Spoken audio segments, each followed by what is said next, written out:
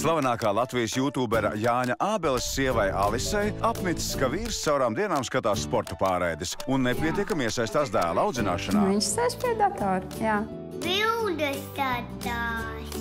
Kad mammas vietā stāsies tetovētā dīdžeja meitene Viktorija, Jānim nāksies kardināli mainīt ieradumus. Atbrauc pie manis svešs cilvēks un stāsta, kā man dzīvot tālāk.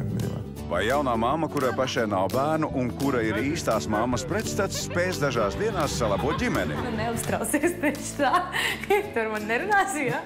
Atklātākais pašmā ģimeņa attiecības šovs Mamma brauc mājās. Alis neparakstītos uz tādām lietām. Ceturtdien, 9. vakarā. Es TV pirmā.